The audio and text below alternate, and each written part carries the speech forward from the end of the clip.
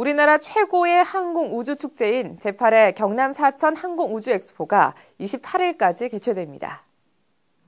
올해 경남 사천 항공 우주 엑스포에는 motor para와 곡예 비행 탑승 체험 등 국내 최초로 시도되는 탑승 체험 행사와 화려한 에어쇼 등이 펼쳐지게 됩니다.